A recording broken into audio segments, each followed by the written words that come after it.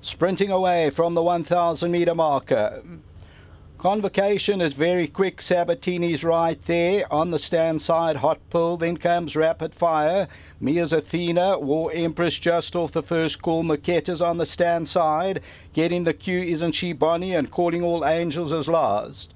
As they move towards the 600 metre region, Sabatini's the leader, rapid fire second, then comes Hot Pull.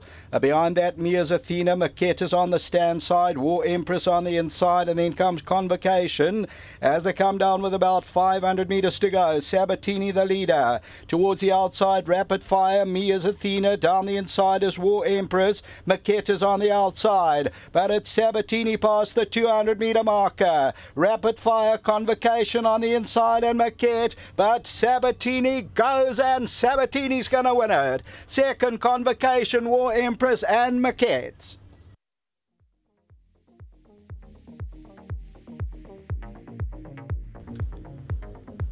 Number four, Sabatini is the winner. It pays up at 580. Another one for the Mike Miller yard. Sabatini, the What a Winter for the Sarge Sterling Miller Cheveley stud. So number four is the winner. Second, number one, Convocation. Third, number two, War Empress. The fourth position, Maquette. Then came a rapid fire, getting the cue, Mia's Athena.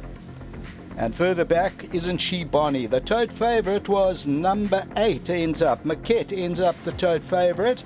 So Sabatini shows all the pace, records its second win from 15 outings, and continues to go. And a very good day for Tristan Godden and Mike Miller. And yes, Sabatini victorious in the running of race six. Back to the studio.